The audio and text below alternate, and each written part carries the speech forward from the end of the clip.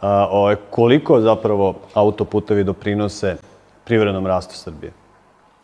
E, ja sam pre neki dan čuo genijalnu misao današnjeg vlastodržca koji je rekao da su njemu investitori eksplicitno rekli da ništa od investicija nema ukoliko nema puteva.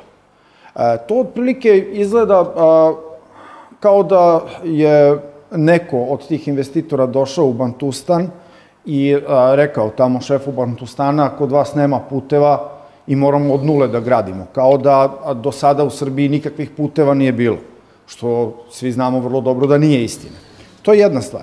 A, druga stvar, pitanje puteva je zaista suštinski ekonomsko pitanje, međutim, tu moramo razdvojiti stvari šta je starije, kokoš ili jaje. Da li se put gradi zbog fabrike ili se fabrika gradi zbog puta? Po mom mišljenju, skromnom, smatram da se put gradi zbog fabrike, a ne fabrika zbog puta.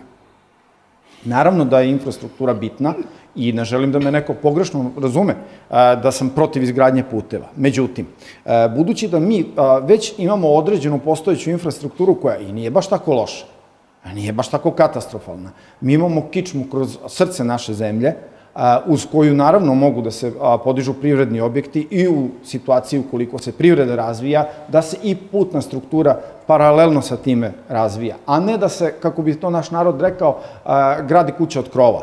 Jer graditi na silu 5-6 autoputeva od jedan put da bi neko možda u perspektivi sagradio neku fabriku, to vam je isto kao da krenete da gradite kuću od krova, što je praktično sumanuto.